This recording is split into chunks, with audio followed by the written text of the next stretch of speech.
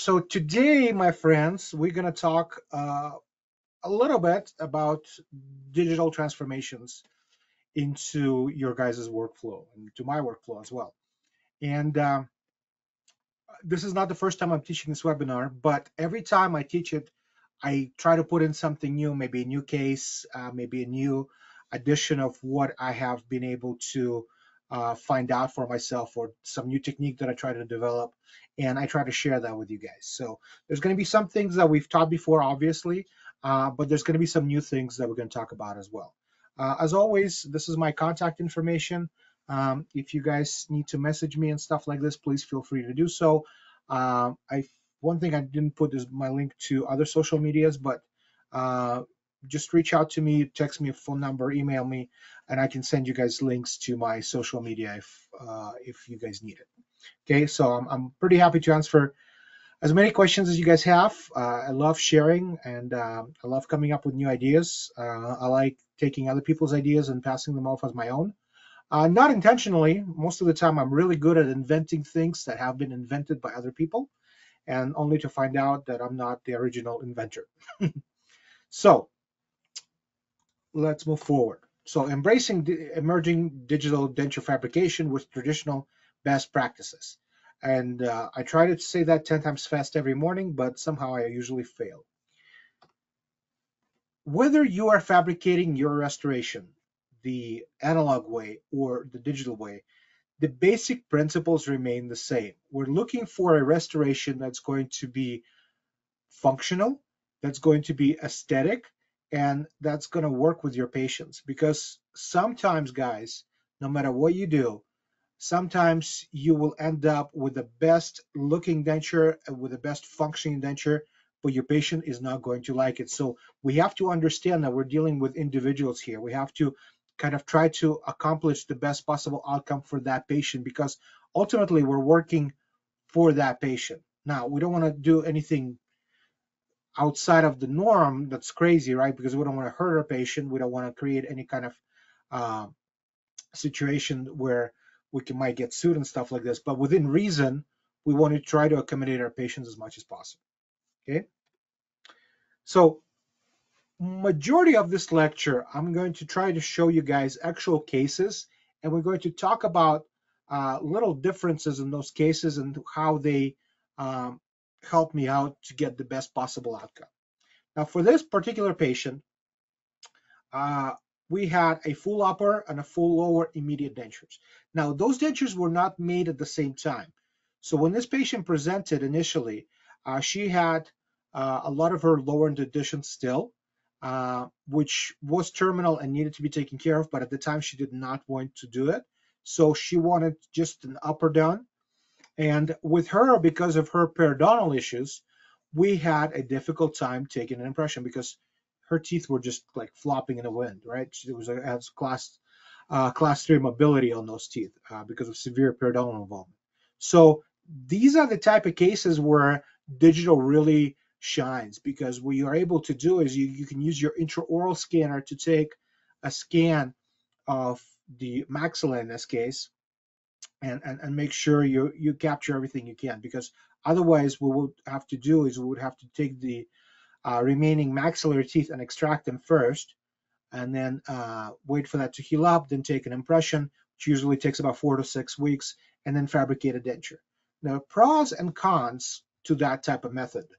Obviously, the uh, the con of this is that the patient has to be edentulous for some time, uh, and you know it's not as aesthetically pleasing for them and it can create some issues. Uh, the, uh, the good thing is that you're able to take a much better impression and you can do a try and you can verify how things are looking and make sure you get the best possible outcome for that case. Because with with uh, with immediates a lot of times you're doing a lot of guessing. The downside here because the patient still had the lower dentition that that was terminal we couldn't do a great denture anyways. So as you can see here it looks canted just from this picture as well. You can see remnants of uh, soft tissue conditioner on the uh, maxillary mandible. Here's another view right there. And obviously the upper is kind of falling apart a little bit uh, because it's been in there for a while, much longer than the mandibular one. Okay, The mandibular one is looking a lot better. But you can see in this picture, right, that the patient's smile is canted because we were trying to follow the uh, patient's existing dentition on the mandible, and also we did not take uh, some kind of uh, stick bite, face bow, analyzer to kind of even things up a little bit. And another thing, whenever you're doing immediate dentures, right, things tend to shift on you. They, they will shift no matter what. No matter how great you're doing, because you're dealing with alveoloplasties, because you're dealing with soft tissue, uh, the bites will shift, the uh, alignment will shift, the midline can shift on you, uh, maxillary and mandibular one. So I treat immediate dentures as a temporary denture, okay? And in this case, it's, it's evident why I do that, okay? But it can give you a lot of good starting points, uh, especially for this patient. We had uh, some good ideas what we could have done. Now we can see we have some black triangles on the uh, buccal corridors right there, right? Uh, because of the way that we're positioning teeth in regards to patient's existing dentition originally. Because she had mandibular dentition and we're trying to make the maxillary to mandibular. So because mandibular was closer to the center of the ridge and we're trying to uh, create things within that range, we had to bring um, uh, maxillary dentition slightly more palatal in order to uh, create optimal occlusion. And then when we had to make the uh, mandibular one, we just matched the maxillary one. Whenever you're dealing with a set, you can uh, utilize model analysis, which if you guys look at some previous webinars and some ones that I'm going to be teaching further, it teaches you that within that range, you can move the dentition slightly buccally and slightly lingually in order to eliminate cross bites, in order to increase uh, possible aesthetics for your patients. So this is actually uh, what her mandibular teeth looked like uh, before we had to do an extraction. This was an emergency extraction. These are bladed implants. Uh, she had it done uh, in Moldova in early 2000s. They haven't used this system in the States uh, for many, many years, since the 80s or even 70s, if I remember correctly, because uh, it was highly problematic uh, in a lot of cases, causing a lot of inflammation, uh, causing a lot of infection, a lot of bone loss. And the reason I actually had to do emergency extractions for this particular patient is because uh, her infection gotten so bad that she started to get numbness because of the damage that it was causing to her inferior alveolar nerve. So that's kind of a scary thing, right? All right. So one of the methods that I like to utilize is taking patients' existing uh, dentures and using them as a, a custom tray. That's, this technique has been called different names. One of the more common ones is a reference denture technique. There are some issues associated with that technique. One of which was before we got to digital, it was a little problematic to fabricate uh, those reference dentures because you would have to take uh, patient's existing denture and you'd have to flask it and inject it with acrylic, uh, with diff many different ways of doing it, but it was just time consuming. Nowadays, that technique is a lot easier to, uh, to do because all you basically are doing is you're taking a, a nice 360 degree scan of patient's existing dentures and printing a replica of it. Now, some things to consider uh, whenever you're dealing with these type of situations uh, you need to uh, take a look at the patient's existing dentures and see what issues those dentures have.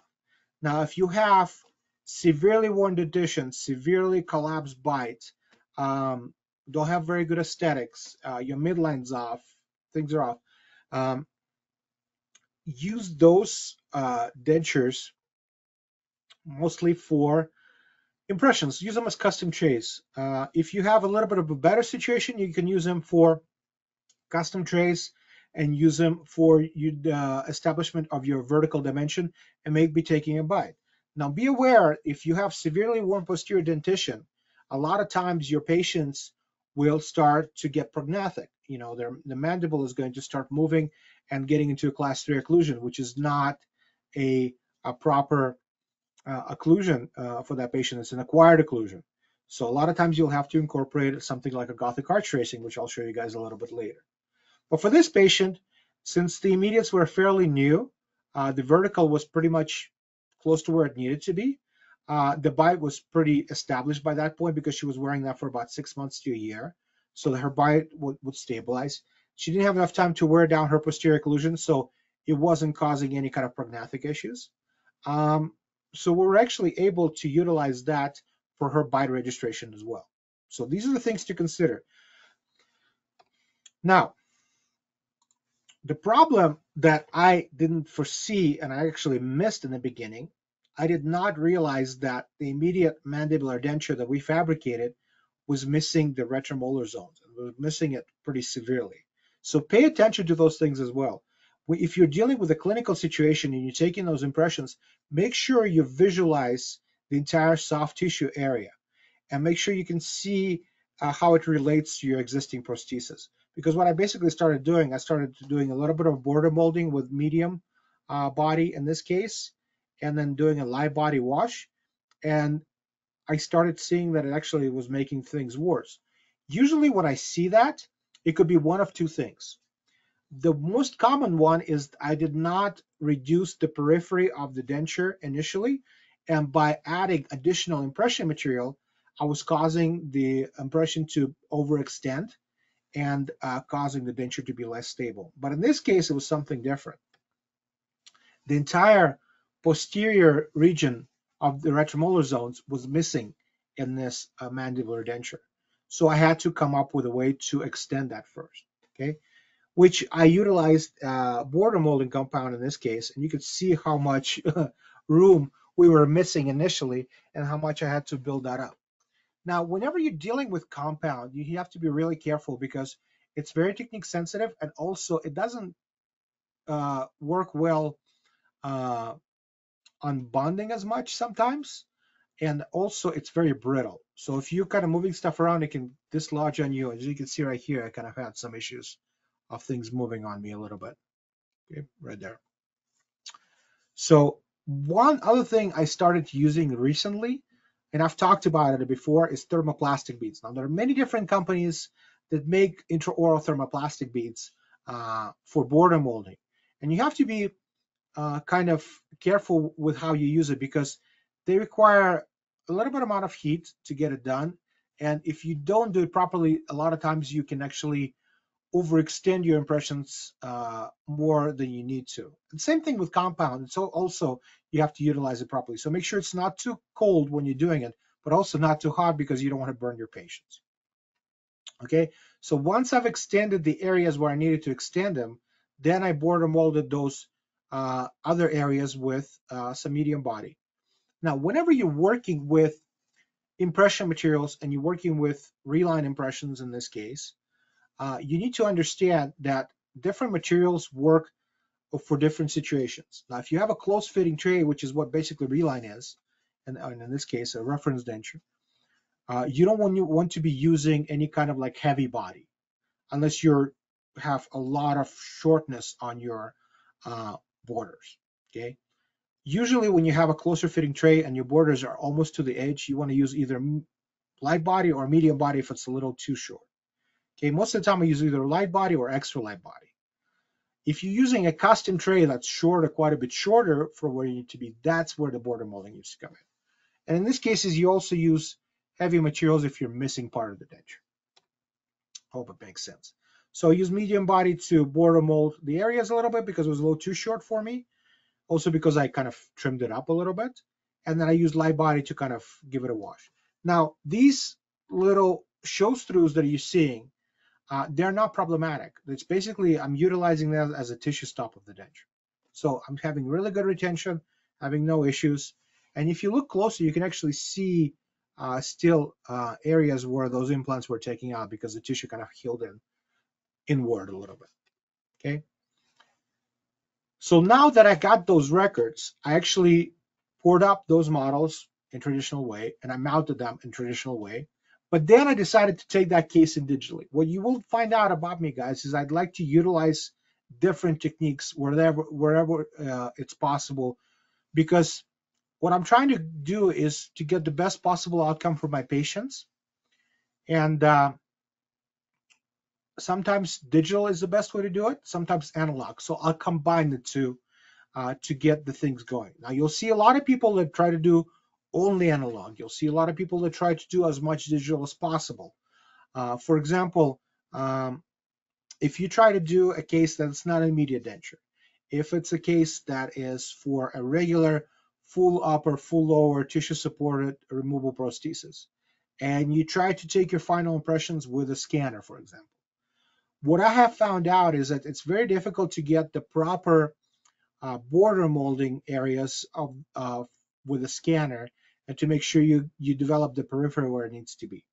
Now for initial impression, I have no issues doing it with a scan whatsoever if you're able to get a good uh, peripheral scan of things. Now with me, it can be sometimes problematic, especially when you don't have any landmarks to go off when you're dealing with fully edentulous patients. So I a lot of times will prefer to do things uh, analog way until we get to a certain point. Now, once I have the models poured up and once I have them um, mounted with those reference dentures because uh, mounted for a proper vertical dimension, I get a stick bite or something like that to make sure I have the horizontal plane well.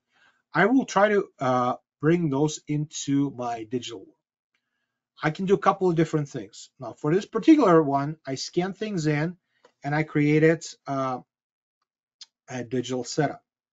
But oftentimes, what I'll do is I'll just basically, even if I just starting out, if I haven't made my bitrims yet, we're talking like a fully edentulous case, I'll just scan my poured up models and I'll create my base plate digitally. I love printing base plates and I love printing custom trays, guys, because to me, I had a lot of issues uh, fabricating uh, base plates by hand. Now I was able to do so, but it took uh, it, it, took some time, obviously, like anything that's worth doing takes. But I was also having issues. A majority of the issues, like especially when you have undercut areas, I would either block them out too much, or I would block them out not enough. So a lot of times my maxillary, especially uh, base plates, would drop out of the sky, or it would, if I didn't block things out enough, it would get, you know, uh, get stuck on the model. And if I was lucky, when I was removing it, maybe the, the base plate broke. But if I wasn't lucky, um, the model could break. so let me get a sip of water. So with digital, I don't really have that issue anymore. So a couple of things that I'm getting that I like with digital. I have a file of this of this model, and that file stays with me for as long as I need it to. Okay, and uh, if God forbid something happens, you break the model or it gets lost. I've had that happen before where we're going through things and then uh, in the clinic, the doctor takes the initial models and puts them in a box and takes the master cast and throws them out by accident or the assistant throws them out by accident. Or things get lost when you're shipping things through mail, uh, things can get lost in the mail and things like this. I will always have that data and I can print another model if I need to, and I can duplicate that and make it into stone if I'm doing uh, analog processing. And I'll have that file and I'll have a file for base plate a lot of times. So it becomes very helpful to me when I go that way, guys. But for this case, what I decided to do, I, I got everything put in and then I used the uh, Vigo teeth uh, to do a, a, setup. Now, with the digital system from Vita, uh, there were some limitations initially uh, that they kind of took care of it uh, now.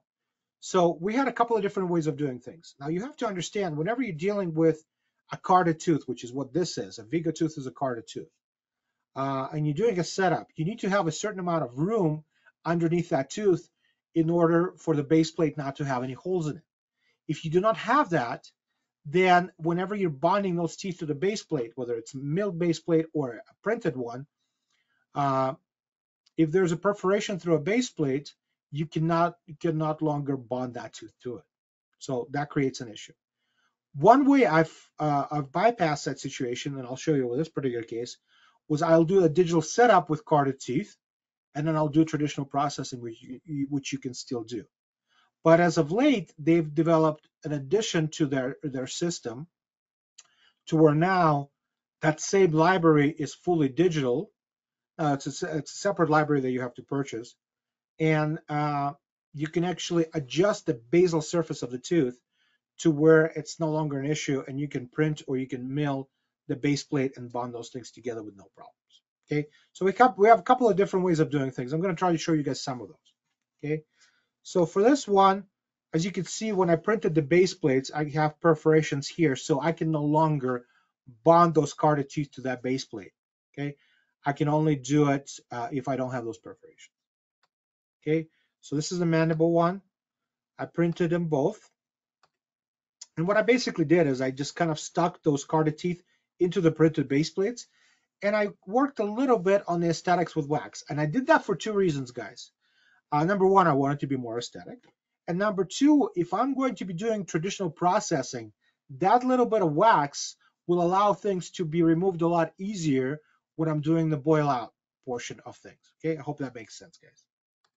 Okay, so at try-in, I, we try to minimize those buccal corridors a little bit, so give her a little bit of wider smile. Now, obviously, we can't we can't go as far out as we want to because we're limited by our uh, ridges of what the patient has and the face types. And then after that, I basically just pr processed it in a regular analog way. So with these Vigo teeth, I'm able to use them fully digital and I'm able to use them fully analog. Okay, or as in this case, I can do half and half. Okay, so it's one way of doing things. And this is what it looked like at the delivery. She was pretty happy with her results, and uh, I was pretty happy because this lady does my hair, what's left of it, uh, and I didn't want to. I want to make sure she was happy uh, every single time. And I don't know if we have sound on this one, but you can see that I was actually able to uh, get suction on her, even with the you know, that pretty drastic surgery that she had to remove those implants and the healing of that area. By utilizing proper techniques and proper materials, you're able to capture uh, that's that uh, valve area and get proper suction uh, for your patients, guys. Okay, so we're going to go through a little bit of um, steps that I utilize in 3Shape to get things aligned, to get things set up uh, in order to do the digital setup for dentures. Uh, it's not very complicated, and if you do it a few times, you can actually get it done pretty quickly. There's a lot of videos besides mine, obviously, that explain this whole process. Um, and every single time there's something new coming out to make things easier. One thing I will warn you guys is that digital is not just press a button and does it for you guys. It's software, and all softwares are glitchy and then some things you have to figure out. And you're moving from a 3D environment to a 2D environment. So setting teeth up digitally uh, takes a lot of practice, guys. So you need to understand that the first setup you're going to do is going to suck, and maybe a second one and a third one. So like anything, it takes practice. So as long as you prepare yourself for that and, and, and go with that flow and, and try to do your best, you're going to be just fine. Now, for this case, you can see we brought in a, a full upper, full lower, and a bite registration. And in this case, we're actually utilizing our bite registration as our wax rim as well, okay? What it will do is it will ask you for different things um, on your models. And the reason why it's asking for that is because it's utilizing model analysis to approximate where things are going. Now, these pictures are from an older version of 3Shape, where you can see it's actually also asking you for mucolabial fold, which is right here. The newer versions automatically detect that and you don't need to actually mark it for them. But you will need to mark the, uh, the incisive papilla because what it basically does, it actually will uh, utilize model analysis and it, it, model analysis basically says that the incisal edges of your uh, centrals are going to be seven slash nine millimeters from the center of the incisive papilla. So that's where that marking is, and it's where it's going to measure.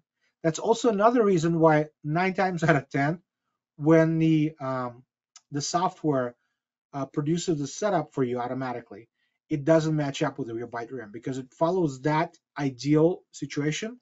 And I don't know if it uses seven millimeters, eight millimeters, nine millimeters, or whatever to align it to, but it doesn't match your wax rim. That's why you need to have your wax rim scan inside the software in order to uh, get things lined up. For the canine points, what it basically is utilizing, where you're going to be marking it, is uh, you're going to be using your first major pair of palatal rugae. And that usually corresponds to the centers of your canines. So it's going to look at those marks and it's going to try to find the best possible mold uh, that you need for that particular setup. You can obviously change it down the line where you, you, you want, but it's going to line things up for you. And it's also asking you to uh, mark the tuberosities, the centers of your tuberosities, uh, because we also know that we don't want to do any kind of dentition placement on your tuberosities as well. So that's part of the things that it's doing, but also centers of the tuberosities allows you to line up with the centers of your ridges, and it kind of goes with that position and makes sure that the teeth are as close to the center of the ridge as possible. Okay, hope that makes sense, guys. So same thing for the mandible. You're going to be looking at the center of the ridge. Now the center of the ridge is important because if you guys know model analysis, the basal surface of mandibular anteriors needs to be sitting on the uh, on the ridge itself, and the uh, that mucobuccal fold, mucolabial fold, sorry, uh, is how far forward you can actually rotate and angulate uh, your lower anteriors. So that's going to give you some understanding. It will also ask you for the uh, canine points. The canine points are a little bit more difficult to determine on, on the models because there are a couple of ways to do it actually. One states that the position of the first premolars is slightly behind the buccal frena of the mandible. Uh, and if you look right here, that I just placed them slightly ahead of the buccal frena for the canines because of the premolars are slightly behind, then the canines are going to be probably either at the buccal frena or slightly forward. So I usually just put it slightly forward because you can also see where the ridge is starting to angle a little bit. That's where the canines usually are. So I'll put those on there. Now these is these are just approximations to allow the software to kind of line things up where they need to line up. What you need to understand is that it's not where it needs to be. It's just an approximation. Every once in the great, you know, great while, they'll line up perfectly for you.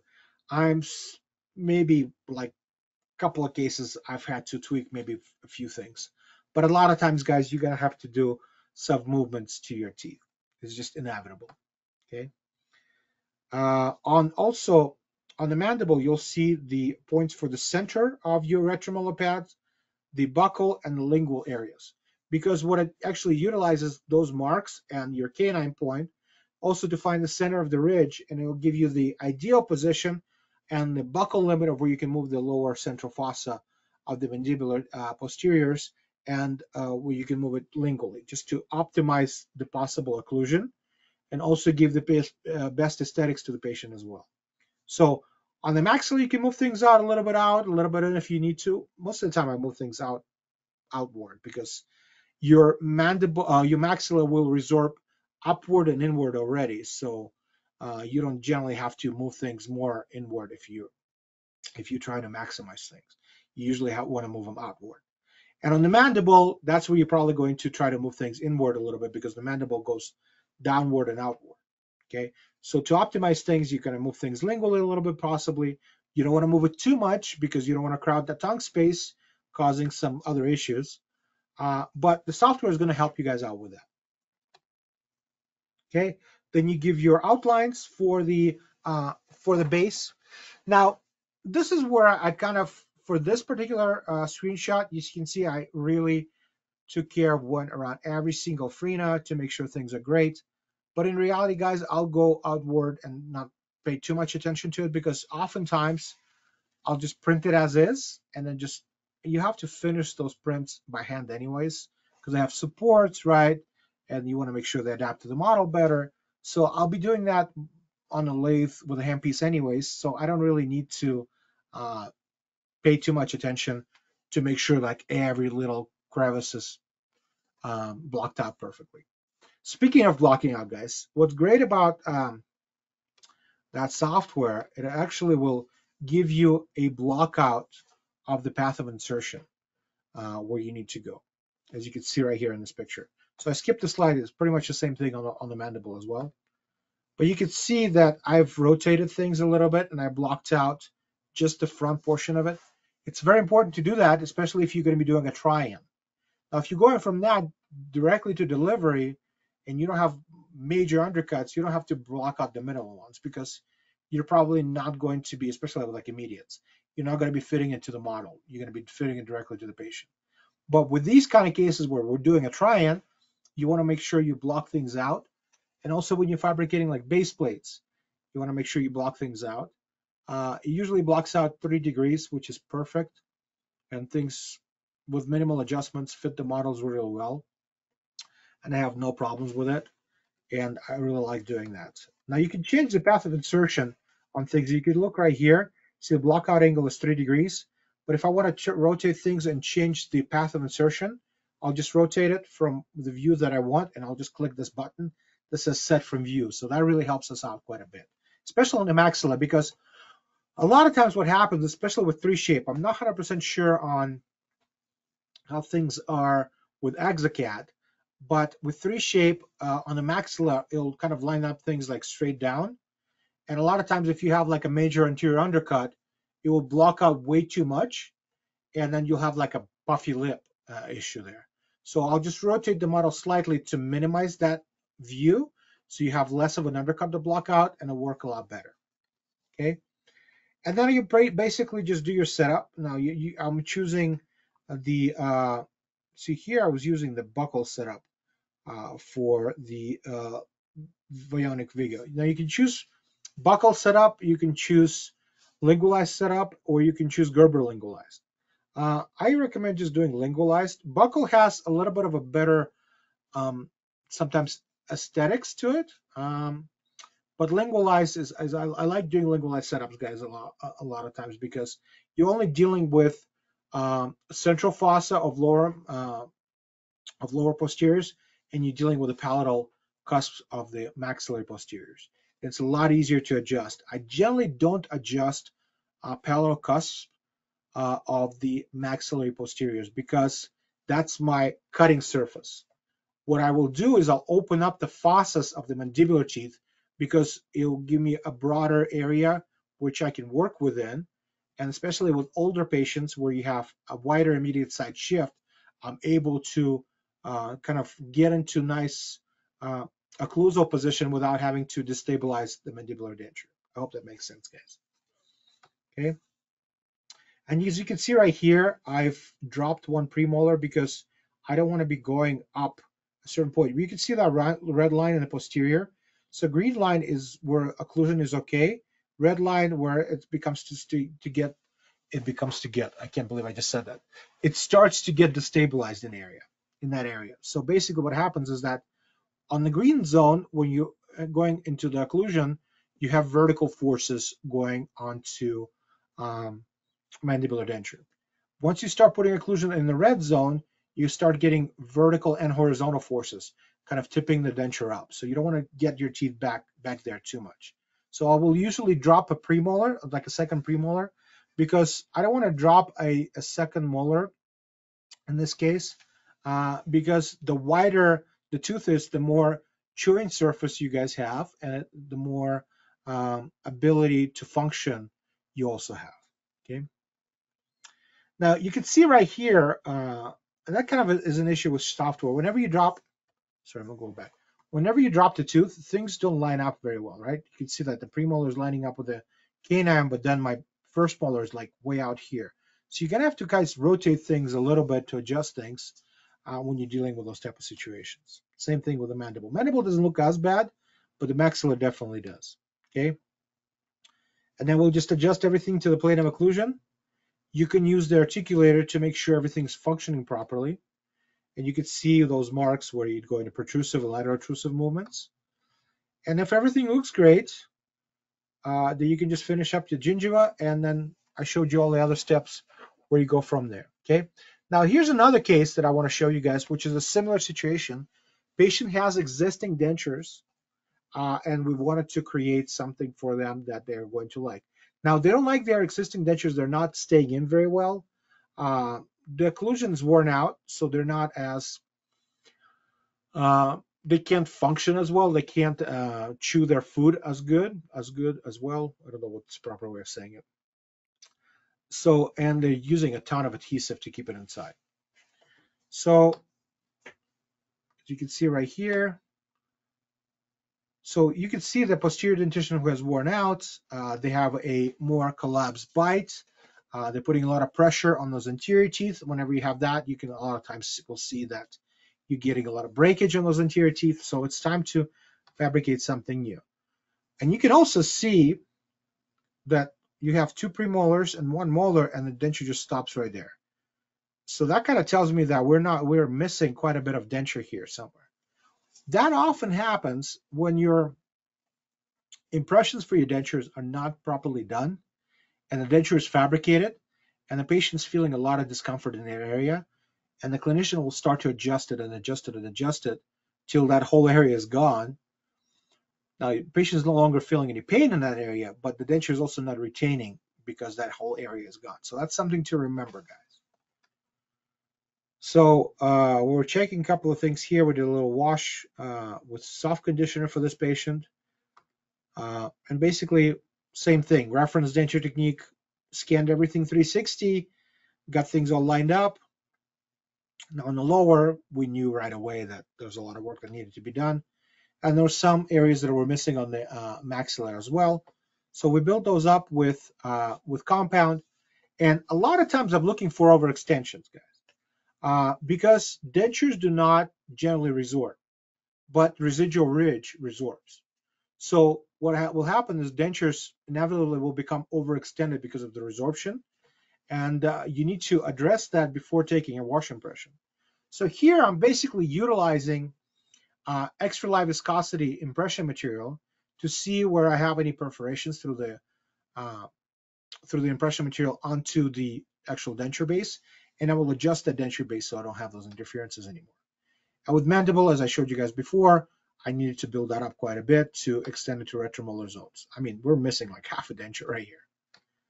So here, we got things lined up. Looks like we don't need to reduce anything. Maybe right here a little bit, I think I've reduced because I'm seeing some perforations here and some here. So once I did that, I did a little medium body. I could have actually gotten away with light body here, to be honest with you guys. Uh, but that medium body that I was using, I think this was a GC monophase. It had, had the viscosity of the light body, so it worked out pretty well. And we did a wash on top of that with extra light viscosity just to get that best possible outcome for the patient. This is where I'm still a fan of taking traditional impressions for patients, guys, because it's very difficult to get that kind of functional impression with a scanner. Because here I'm utilizing a closed mouth technique and not an open mouth technique. So I can get, really get those things moved and everything else. With a scanner, you're obviously going to be doing an open mouth technique and you're going to be doing a uh, mucostatic impression versus a mucodynamic. So this is a lot better in my opinion. Okay, and you can see the difference between the old denture and the new, literally like twice the size. Okay, here's the maxilla. I could have adjusted here a little bit, but I had really, really good retention, so I decided not to mess with it. Just marked there uh, where the uh, posterior palatal seal is. I had a couple of small bubbles, but they weren't interfering with anything, so I decided just to leave it as is. Okay, took a stick bite because it was canted as well, and I mounted the whole thing on the articulator. Okay, once I did that, same thing as with my previous patient, I printed base plates. You can see I have uh, some holes through the base. So basically what I do for try-in when I'm doing this, I'll put the carded teeth in there. Now for this one, I wasn't using Vigo teeth, I was using VITAPAN EXCELL teeth. Those are my go-to teeth.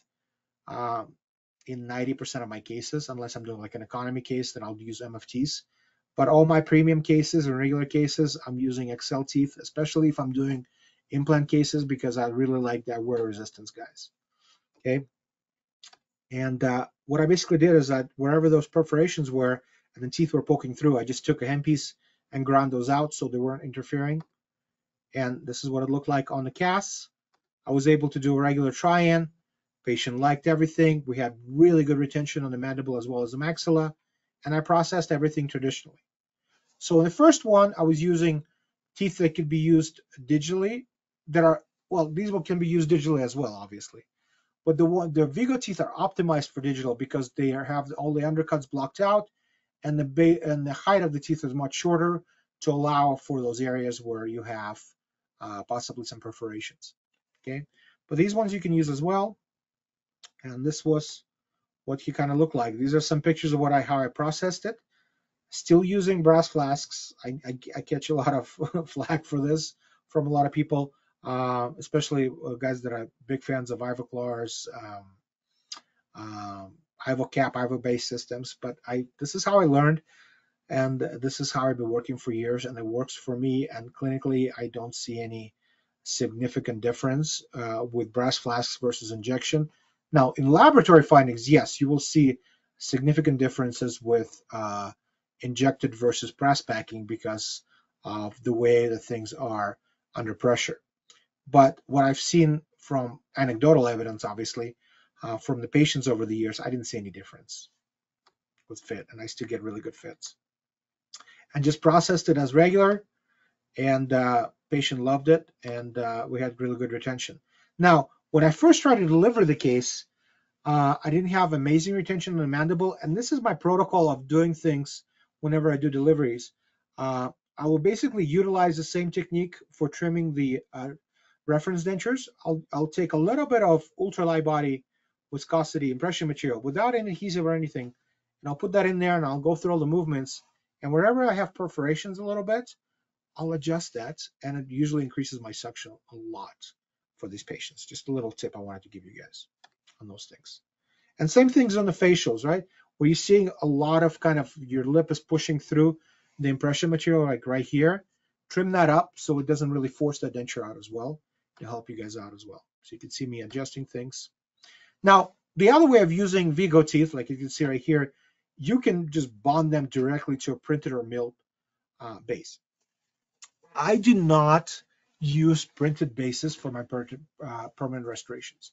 At this point, I am not confident enough with printed materials, even though uh, companies out there are saying it's, it's great, everything, and I, I'm not saying I don't believe them.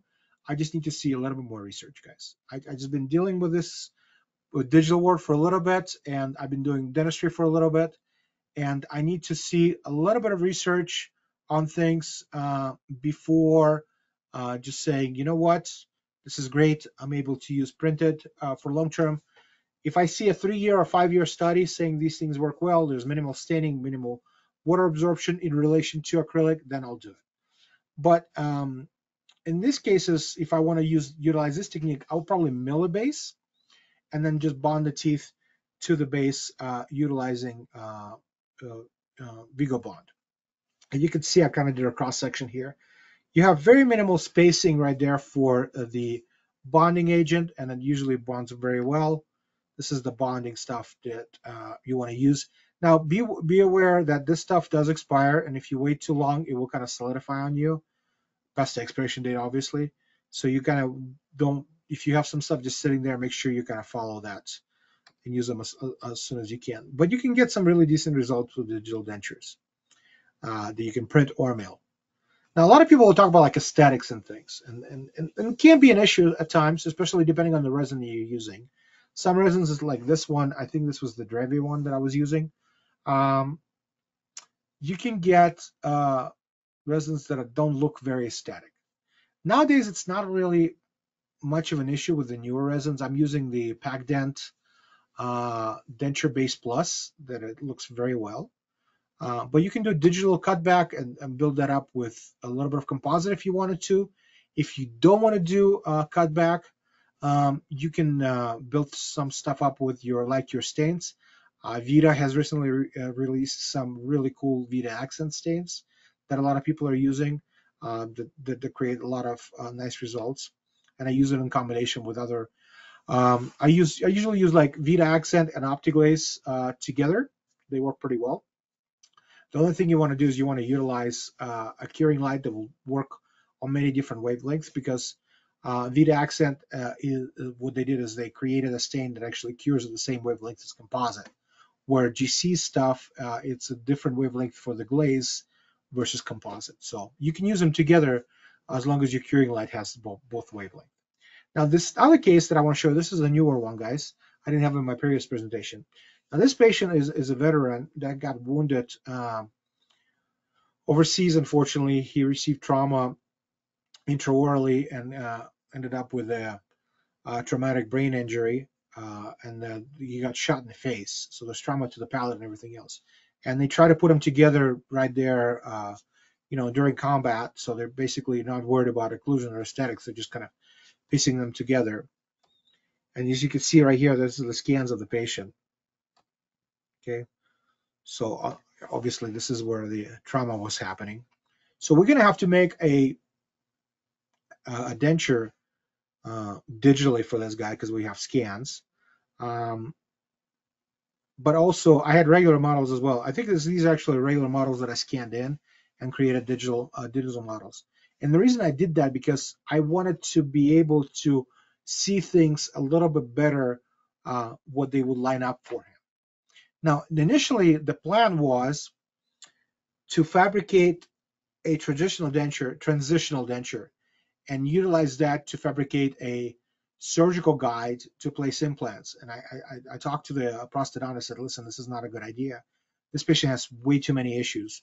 Let's try to see where his ideal aesthetics and occlusion is first. And once we do one, maybe two, maybe even three transitional sets, then we should do uh, a surgical guide and do implant placement because right now we're kind of all over the place. So basically, uh,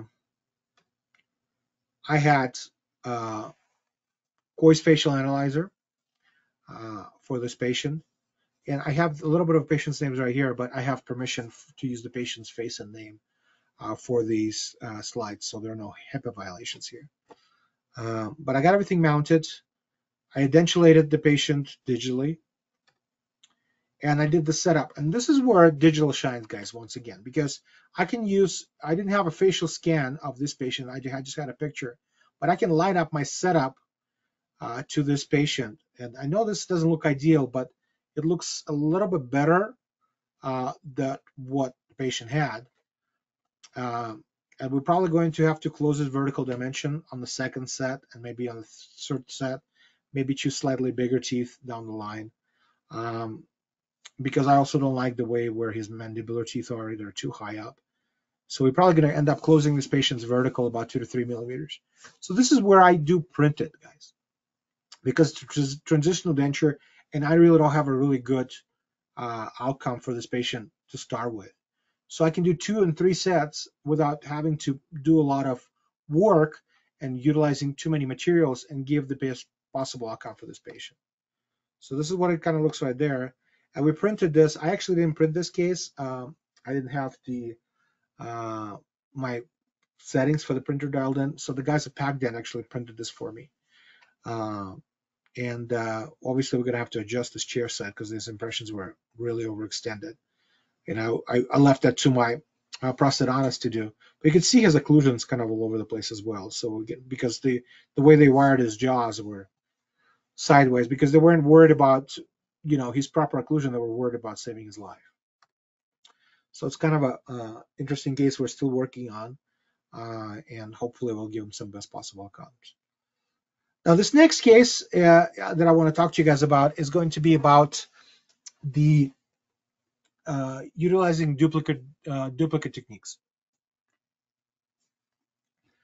So 3Shape has an option of taking a patient's denture, excuse me, and uh, duplicating 100% of what the patient has. Now, it's not going to give him new teeth.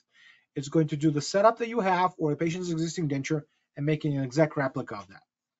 The difference between that and just scanning the denture 360 and printing it is it'll actually separate the teeth from the uh, from the base, so you can do like different colors instead of just printing it all monolithic and trying to color the denture on denture base with, with composite or, or glazes.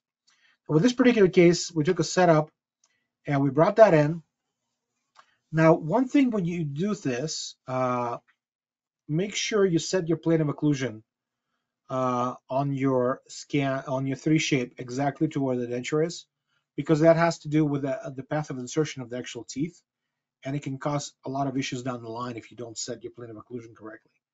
I've learned it the hard way, and actually uh, buddy of mine Mintran uh, kind of showed that to me and, and, helped me a little bit with that and I'm showing that to you right now.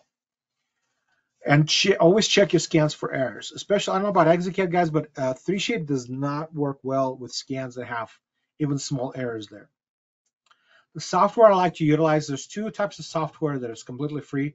One's uh, MeditLink and one's uh, Mesh Mixer. I use Mesh Mixer to check for my scan errors and, and fix them before I bring everything into uh, 3Shape. Okay. When you bring that in, guys,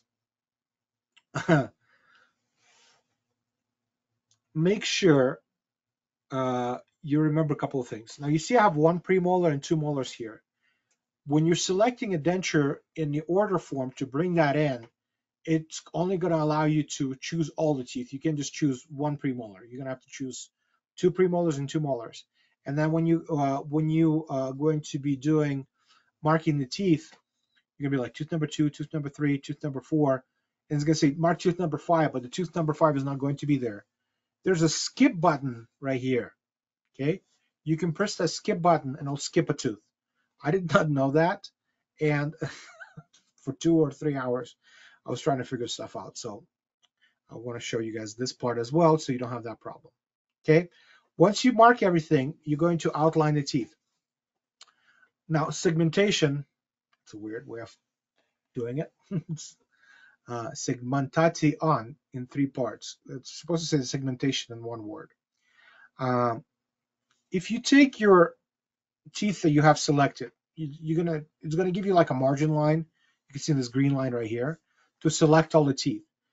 You can select it as one piece. You could select it as three pieces. You could select it as you can see right here, three pieces, one piece, four pieces, or two pieces.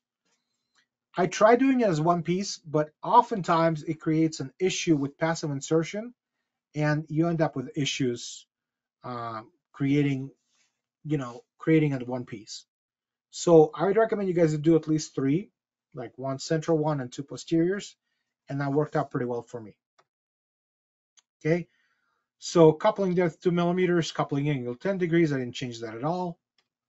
And you can see right here that I got three pieces. Now, you will oftentimes will have to adjust the height of the uh, denture teeth here. You can see right here, I had to do that because uh, it had perforation issues through the base, and you don't want to have that, and I'll actually throw an error uh, in that case as well. Okay, so this is what it kind of looks like uh, where it's all segmented. Now, obviously, because of the scan uh, artifacts and everything else, and we're not using a library tooth, it's just a scan of the tooth, these are not going to look as ideal as a regular uh, digital library would. But it's still a very good way. Now, whenever you're printing your bases, there's a couple of things to consider, folks.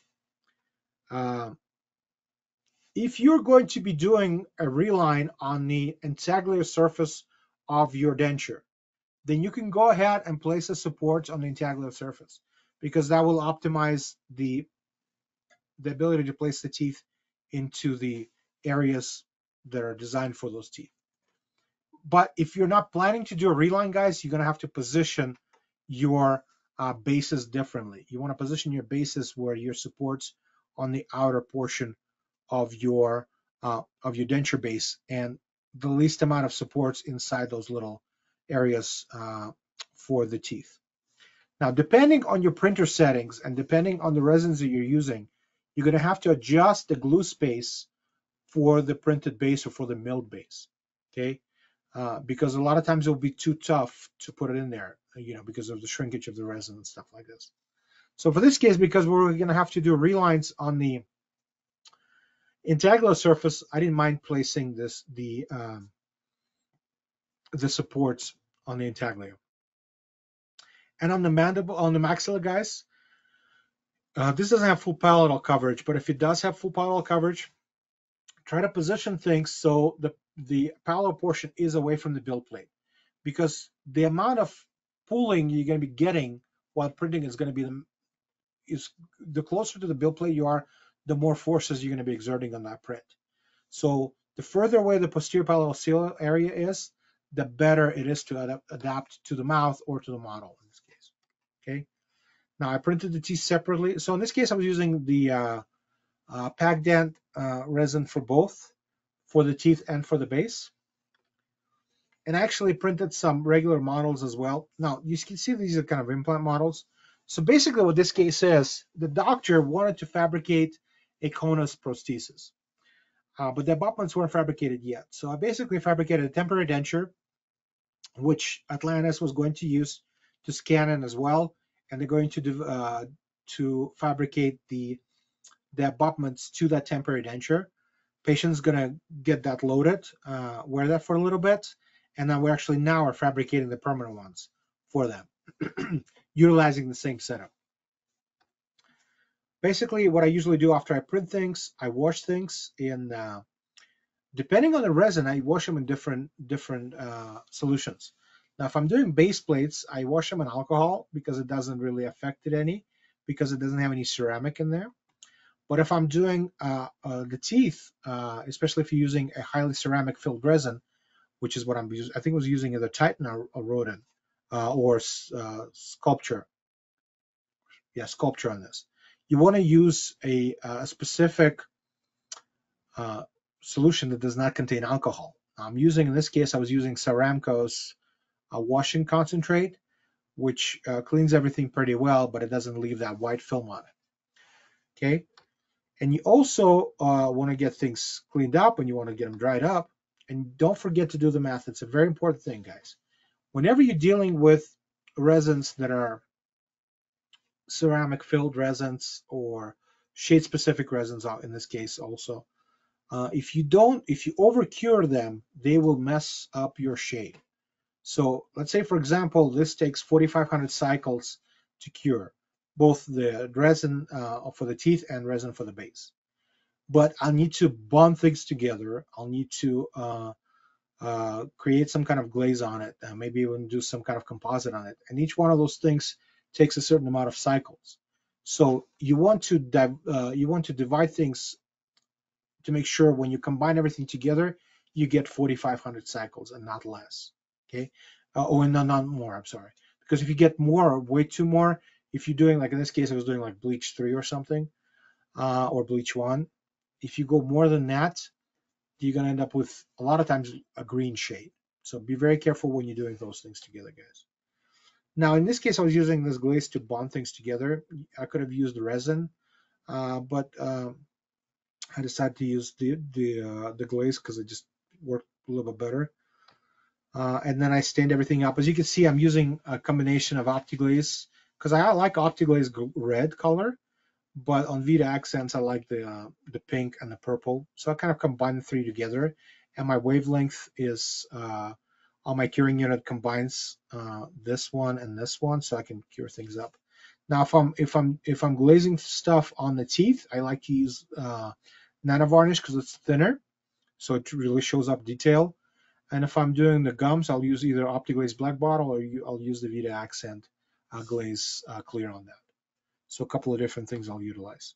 And this is what I kind of look like for the temp. You can see I kind of did a little bit of accents on that. Um, the margins I've added a little bit of pink to because I was using the glaze and glaze is clear and those margin areas were still kind of white.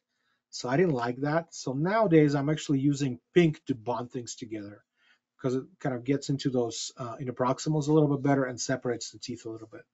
So just a word of advice. And I use the printed models to double check and verify the um, the vertical. You guys don't have to do that. I just want to make sure I have my vertical correct for this particular patient.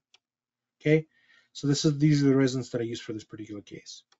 Okay, now this next case I want to show you was done a while ago, uh, and I think you might have seen it before some of you, but I, I want to, this is kind of a word of caution uh, type of case. Uh, because what happens a lot of times, we'll, we'll, get a case, the doctor will scan the denture, they'll do a wash impression, um, and, and, then they want you to move forward. Now, a couple of things to watch out for. If you have a denture that's missing parts and you, you making a replica, make sure you kind of fill those spaces in.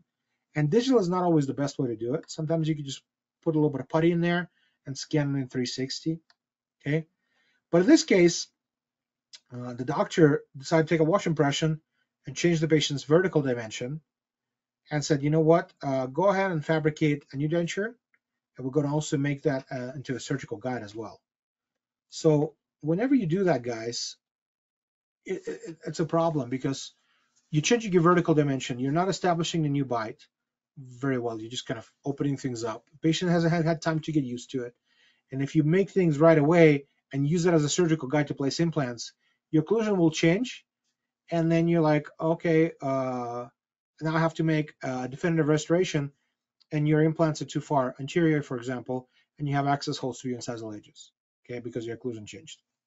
So be very careful. I recommend, guys, whenever you're making drastic changes like this, make a temporary prosthesis first. This is where digital is great. You can print as many as you want. And then once you have it stabilized, then do your surgical protocols, okay? Okay, this was still an analog way uh, of doing things, half analog, half digital, right? So I had digital printed out things poured up the model, made base plates. This was back in the day when I was still doing analog base plates, uh, and I hated the stickiness of it too. I I haven't done I haven't done uh, analog base plates or custom trays for a couple of trays, a couple of uh, years, guys, and I haven't been happier. I'll be honest with you. So regular setup. They wanted me to move the teeth a little bit. I made temporary dentures and uh, for that particular patient, also made a surgical guide, and we had nightmares trying to fix that case down the line.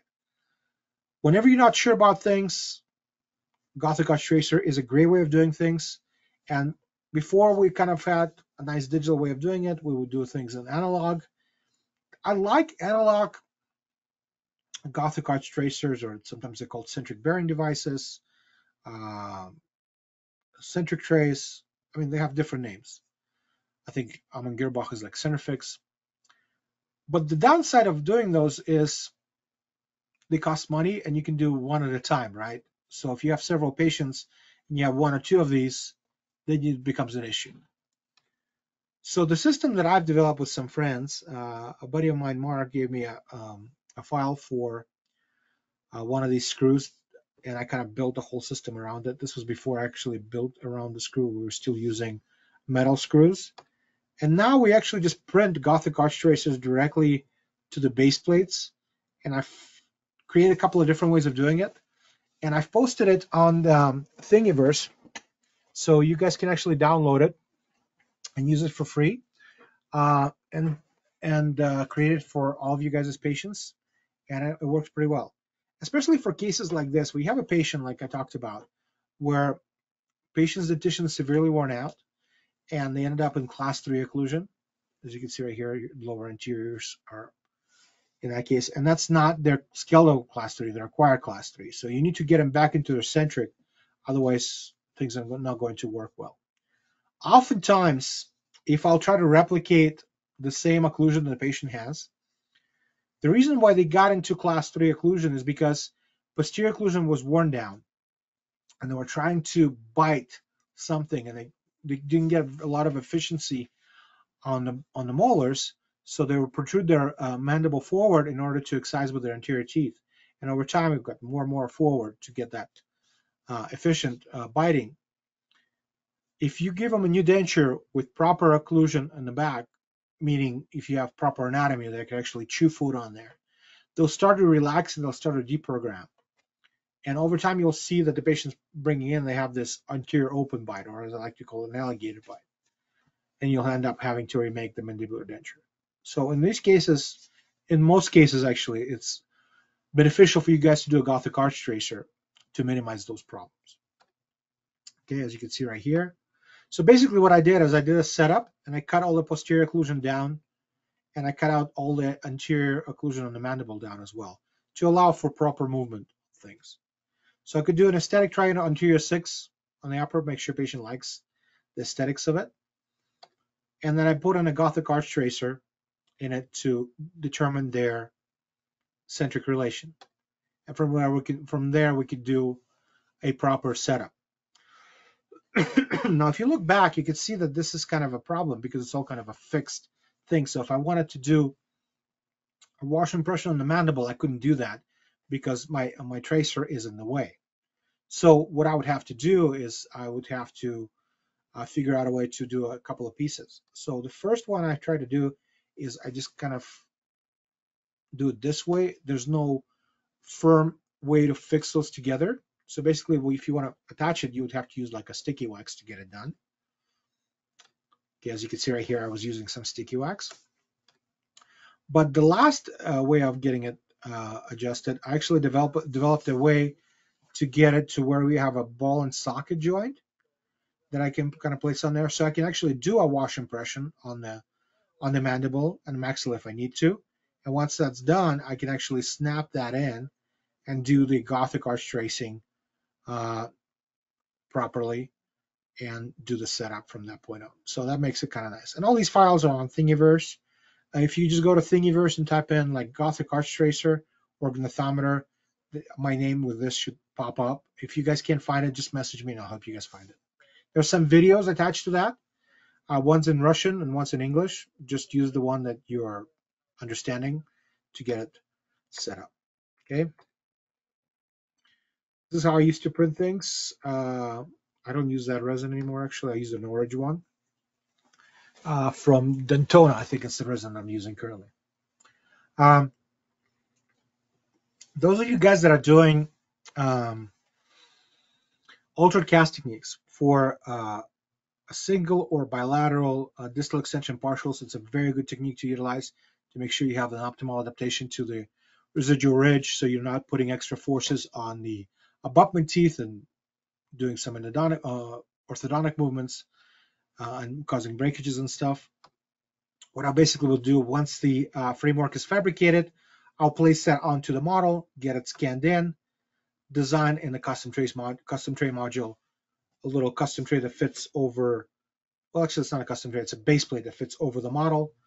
I can. I actually have to go. Um, sorry, guys.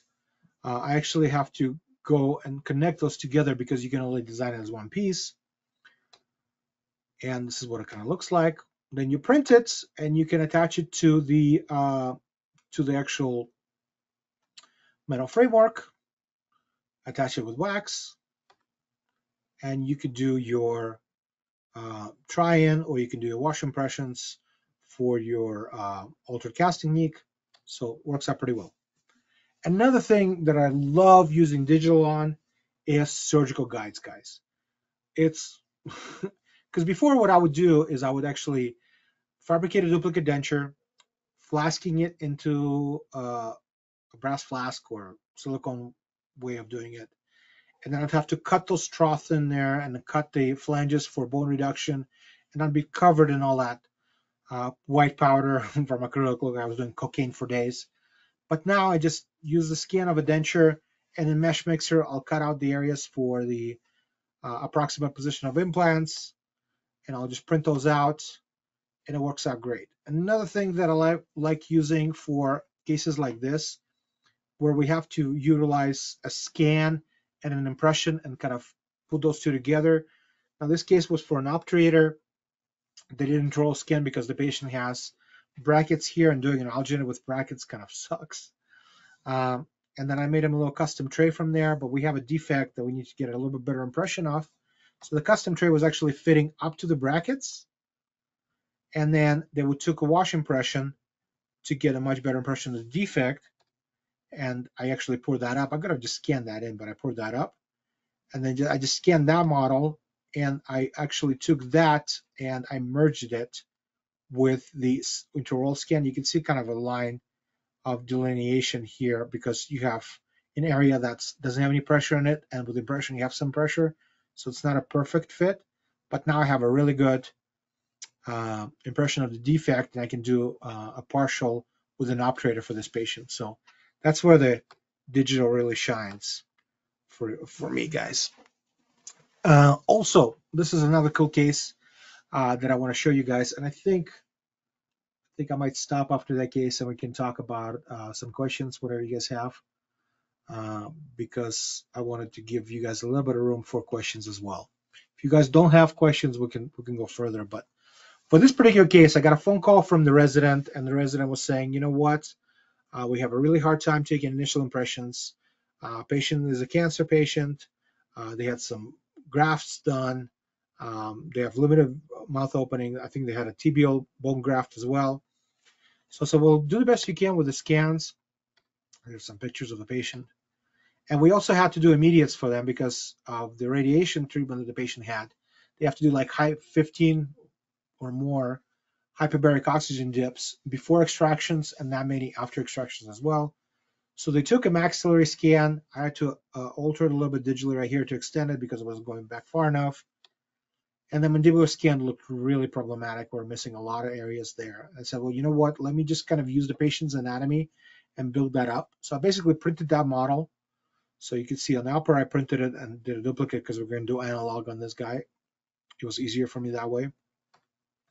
On the mandible, I printed the model and I added some putty to it in the areas where I thought the anatomy should go. And I made a tray, but because we had a limited mouth opening, I decided to make a tray that's going to be sectional. So basically I made a tray with some pegs in 3Shape. And I brought it into mesh mixer, cut the tray in two pieces, and I made the handle with holes to kind of put everything together. So the idea was we would put it in each piece separately and then connect it intraorally together with a handle. Hope it makes sense, guys. So I had to uh, obviously adjust some things with, with compound because the tray was too short. then we took a wash impression with it. So this is what it looked like. So we did a model. Obviously the fit wasn't ideal still. So I said, you know what? Let me make a base plate. We're gonna see how we do that with putting it in and out. Because base plates oftentimes it's a little bit easier to place intraorally. And basically what we did is we used that base plate to take a wash impression for this guy. This is what it looked like. It took a bite registration. And actually, funny thing, we're able to get suction from that. So we went from not being able to take an impression at all to getting suction on this. So I was pretty impressed with it. Okay, took obviously uh, little bites and took a stick bite with it as well. So this way of maxillary versus mandible. That's what it looked like on the patient. And uh, this is what it looked like processed. So you can see we have a lot of defects and stuff like that. I think this would, would have to be adjusted a little bit. Uh, but overall, we had some decent results. I didn't process this case. Uh, my friend uh, Susan Howell processed it for me, but we actually used a Vita MFT teeth on this one. So it worked out pretty good. So this is where Digital Guys shines. Okay, you get situations where you have some problems that you can't solve easily with analog, and digital works out great for that. Okay, I think we're gonna stop right here because we've got about about a little bit over 10 minutes left, and I want to answer some questions. Um, if you guys have any, if you don't, I, I have an ability to move forward and maybe show you one more case. We'll go from there. All right, if you can see it, uh, those of you that are requesting, asking about CE, uh, that will be provided to you uh, using the registration information uh, that you used when you registered for this webinar. As I mentioned, the workshop uh, webinar is being recorded and it will be available on the Vita North America YouTube channel in a couple days. So come visit us. Uh, if you need to get a hold of us, any one of us uh, here, your rep uh, here at the help desk, please do so. Here's some information on that. Uh, the help desk, there's Paul, myself, and others that can help you out. And then, of course, we have other uh, webinars for the throughout this entire year. Eugene's got several that we've planned for and scheduled for. And as he mentioned earlier, he's going to go over various topics as well. Uh, if you are interested, we do have a couple uh, international workshops in Vita, the Zahnfabrik, the actual factory at Vita. If you're interested, you can certainly uh, give us a call and see about registration. It's more of uh, two days of workshop and then uh, three days of just fun sightseeing and things of that nature. And then, of course, uh, Eugene sent us, uh, showed you his uh, contact information. Here it is again. And let me uh, see. If you guys want to scan that uh, QR code, Jim, sorry. Okay. Go back. If you guys want to scan that QR code, that has the links to my social media and the links to Thingiverse and all that things that I mentioned. So I'll give you a couple minutes if it's there. If it works, uh, great and then we'll get it, go ahead and uh, answer some of your questions that you're sending in. So let me uh, go to that. and let's see here.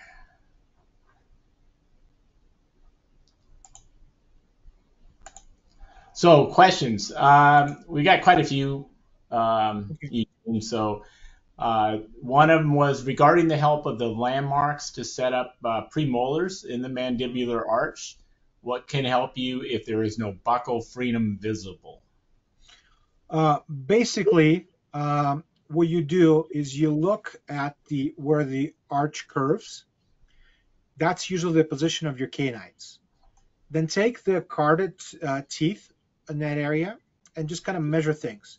So where it starts to curve, that's obviously going to be half of the canine is going to be anterior of the curve and half of the uh, canine is going to be posterior of the curve. So take a look at the canine. The usually measurement is going to be what, like three to four millimeters of that area that's going to curve. Past that point is where your premolar is going to start. So you're just going to have to do a little bit of math going there. But also remember, guys, it's just an approximation. You're not going to use those uh, landmarks for an you know 100% position for your teeth. So if I can't use the can't see the buccal frena, I kind of go okay. Well, if my canine was about three millimeters here, probably another two millimeters or so. This is going to be the center of my uh, first premolar. I hope that makes sense. Right. Uh, for those of you who, uh, if the QR code wasn't working, uh, I'll bring back uh, Eugene's uh, card again that you can um, contact him and get it from Eugene Direct if you'd like, or email us and we'll send that to you on how yeah, to get I might it. have to update that thing. I think it was just having some issues with that software, and that QR needs to be updated. Okay. Uh, and then, how confident are you about computer to design your teeth settings versus your eyes? Well, that's a, that's a loaded question. Um, so you have to understand, I come from a analog background, and I've spent many years learning how to set teeth analog. So setting teeth digitally, I'm a newbie. I mean, I'm a couple of years into it, and I didn't do a ton of it because I still do quite a few analog ones. Um, I am pretty confident with my abilities now, just because I've tried it so many times and I know little uh, little ways of optimizing things. What you have to what you have to uh, utilize is make sure you rotate your work every time you're working on it. Don't just look at things straightforward. Make sure you change angles. Once you do that, it makes it a little bit easier to adjust your guys' occlusion. I 90 times, 90% of the time, I mean, I end up adjusting uh, position of my mandibular teeth uh, and, and make sure things are working out for where I need to work. Yeah, it is a transition to move from traditional to digital and start getting confidence in it. But you know, you got to dive in and start playing with it and see for yourself really. Exactly. Uh, another question on your immediate dentures. Um, you do it as a uh, temporary, provisional, if you will, the first one. But uh, how long would it take usually until you do your first uh, reline or go to the, your permanent denture? So you want to uh, optimize your immediate dentures for as long as possible. Within that first year, your patient is going to be going through a lot of resorption and remodeling if you can wait out as long as you can before making a uh, either a hard reline or making a, a, whole new denture, the better. Uh, I'll try to uh, do soft tissue relines for up to a year if I can, and then I'll either do a, a hard reline or we'll do a whole new set, depending on what the immediate looks like. Okay. Especially if I'm doing a printed one, uh, I want to do a, a, permanent restoration that's either going to be milled or analog. All right. That's good to know. Um, kind of related. Uh, once you place your denture teeth uh, over implants on an uh, implant supported denture, how long have you observed denture teeth to last? So uh, we're talking about traditional denture teeth. We're probably carded teeth, yeah. yeah. printed teeth are probably not very long, but yeah. Yeah, with printed, I, I, usually do prototypes that will go for about six months or so, and they usually work fairly well for that. Uh, some better than others, obviously, but uh, man, maybe on average or on average, I'm thinking, and I only done a couple of re, uh, uh, retreads with Vita teeth, and one of them is because patient would chew through everything. Like we had to put ceramic teeth on this patient because they would just obliterate everything. Um, I would say you probably at least five years. Yeah. Because 90% of the cases I've done been have been in the mouth for five years. I haven't seen back. Now that could mean two things. It could mean the teeth are really great, or I'm really horrible at my job, and the patient's like, no, I'm not going to see that guy ever again. So that we call that geographical success. In those cases, no. But with with uh, VITAPAN EXCELL teeth, guys, you have to also understand uh, you have to properly utilize your processing techniques. Some of you will give me a call and be like, listen, I hate these teeth, they're breaking and they're chipping. I'm like, well, what, how are you deflasking this? Well, like I just take a hammer and I just beat the crap out of it. Part of my French. I'm like, yeah, well, they have a lot of ceramic in it, and ceramic teeth don't like to be deflasked that way. So if you look at some of my other videos or my webinars, I talk a lot about processing, either ceramic teeth or highly filled ceramic acrylic teeth, and there's a way to do it. And uh, I've been utilizing that technique for years and been getting really good results with it. Yeah, there is a there is actually a technique. You just can't go like you say. You just can't go in there, take snippers, and just start yeah. snipping everything away, and you know. I do like a little envelope technique to, for deflasking because I use like a, a first layer. Well, I'll do my first pour, and my second pour when I do it, I'll I'll open up the tops of the teeth a little bit. I'll let it set up, or I'll do like some kind of separating tissue, and I'll do my third pour. So when I'm deflasking it, I can take my third pour off really easy and my second pour, I'll go from the distals and just open up as an envelope, and it doesn't cause any kind of lateral pressure on the teeth, and it doesn't cause any problems. Yeah, kind of old school stuff, which is yeah. good. Yeah. techniques that you know, ideas, techniques that are being lost to the. Well, I've learned this technique from University of Michigan podcast series from 1960s, back when they're still using porcelain teeth, and yeah, it works out great. It works. Yeah. I. you had mentioned that you keep your file, and I guess one of the questions is, how long do you think that file is good for? I mean, at, at what point, you, how long do you think the ridge? Obviously, it's patient to patient, whether it's immediate, but if they've got it, you've got a scan and file of the the ridge. How long would you keep that before you say, nah, I need a new scan or impression? Well, basically, uh, I, I uh, what I'd like to do is whenever something happens or the patient comes back, even three or six months later, to get that replaced, I'll basically print out uh, a base plate to that file, and I'll just have them take a wash impression. And I'll create a brand new file, and then that way I can keep keep going. I, I don't like to throw anything away, obviously, but yeah. I like to update things as much as possible. Yeah, it's, it's nice to have those files so around yeah. just in case. It's a great starting point, no matter what. Yeah. Uh, last question on uh, your maxillary on the long branch rugae, if that's missing or not visible, um, any uh, a guesstimate where you try to place the uh, cuspids? So basically, you look, well, ideally, you'll have a wax rim. And ideally, your clinician places the canine lines. Ideally. Ideally ideally, but we don't live in an ideal world. So look at the things from the perspective of also the curve of your actual uh, of your of, of, your arch. Where things start to curve, that's usually where the canine position is for the maxilla as well. You can kind of compare things, guys. Take a look at some models and compare things.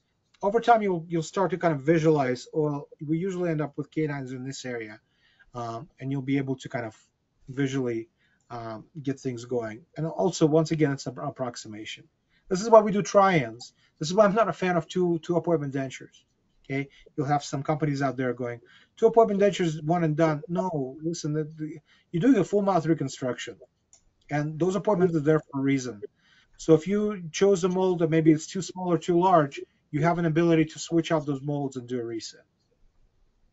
All right.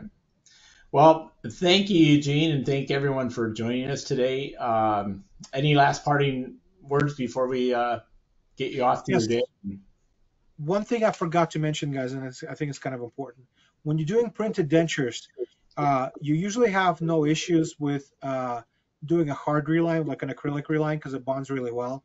The issue you're going to have is with doing like a soft reline, like either silicone or soft tissue conditioner So make sure you use the type of product that will allow you to do those. I don't know of any tissue conditioners that work really well on a lot of printed uh, cases, but I started using a silicone one from PacDent, and it has been getting some pretty decent results for those kind of things. So do your research, guys. Uh, we got a, a, last minute question. How do you make base plates for a resorbed ridge? Well, uh, basically, you guys need to uh, understand your impression techniques for that. Uh, most important thing is your initial impression needs to have all the needed anatomy in it. And I like to take uh, overextended initial impressions. And once you do that, you can, uh, for the mandible especially, you can util utilize a technique called myostatic outline to make sure your custom trays are nice and short because you don't want to have overextended custom trays. And a close fitting tray is the best. And then you create your uh, final impression. And, and your final impression should be exactly the outline for your base plate. You can't just uh, just kind of guess where the absorption needs to be and where to make the trade. You have to determine that clinically. All right. Well, thanks again, Eugene. Thank you, everyone, for joining us today. Uh, unless Eugene, you got any last minute uh, comments? I think uh, that's about it. Yeah. We'll, we'll let you get back to work and become productive and make yourself some money, uh, like everybody else. Uh, appreciate you joining us. Thank you, everyone. Uh, please see the uh, follow up of the video, the recorded video on the Vita North America YouTube channel. That'll be uh, provided in a couple days, as well as your CE. So, Eugene, thanks again. Great knowledge, a lot of information. Appreciate it. You have yourself a great day. You too. Thank you so much, everybody. Have a great day. Thank you.